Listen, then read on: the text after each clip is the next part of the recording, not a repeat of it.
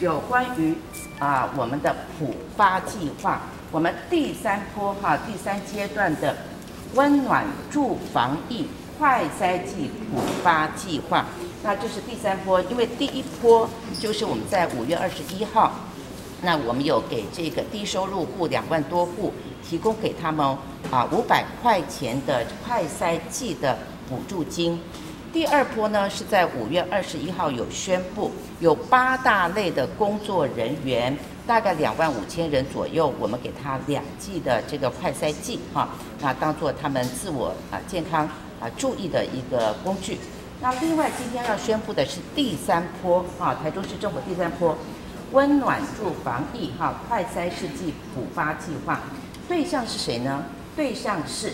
两岁到十二岁的台中市的小朋友啊，这大概有二十九万多人，二十九万多人。另外涉及在和平区的居民，大概有一万多人，全部普发两剂的快赛剂。那从啊五月三十号开始哈来发放，那呃总人数是三十万三千两百六十七人。我们会先为什么先第三波先就这两类人哈来进行发放？因为两岁以下的小朋友是没有办法做快筛的哈，那一定要送医院去看。那两岁到十二岁的小朋友，相对疫苗的注射率是不够的。现在小学生最近才开始要才开始在进行第一剂的施打，五岁以下的小朋友根本没有呃根本不能够施打疫苗。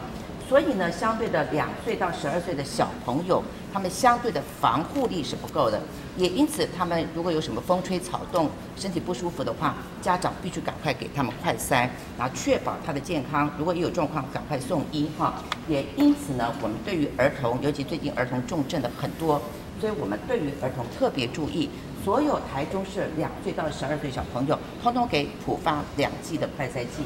那和平地区是因为当地的药局、便利商店都非常非常的稀少，啊，这个服务员广大，他们没有办法取得塞剂哈，也因此呢，即使有钱也买也买不到，所以和平地区这一万多人，我们一人也给两万剂